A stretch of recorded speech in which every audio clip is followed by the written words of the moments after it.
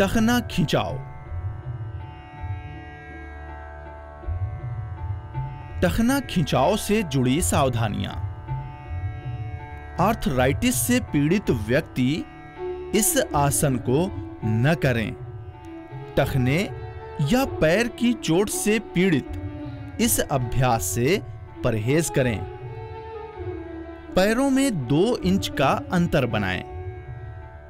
धीरे से दोनों हाथ कमर पर ले जाएँ।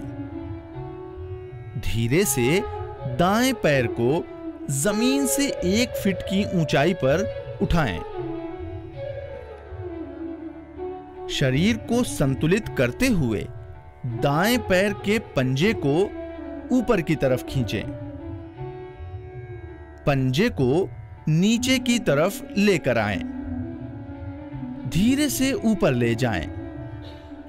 दोबारा पंजों को बाहर करें।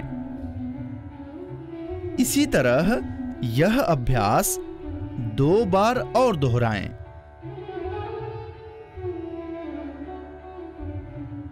मध्यम भाग में वापस लाएँ और पैरों को वापस लाकर विश्राम करें। यही अभ्यास बाएँ पैर के साथ दोहराएँगे। बायां पैर ज़मीन से एक फीट की ऊंचाई पर उठाएँ। शरीर को संतुलित करते हुए बाएँ पैर के पंजे को ऊपर की तरफ़ खींचें। धीरे से पंजे को नीचे की ओर ले जाएँ। पंजा ऊपर ले जाएँ।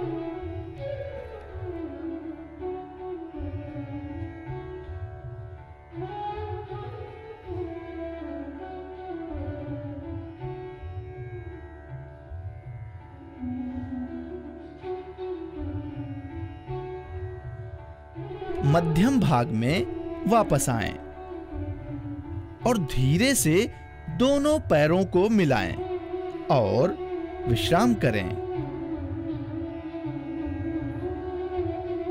टखना खिंचाव के लाभ। टखने के गठिया को सही करता है, पंजे को मजबूती प्रदान करता है।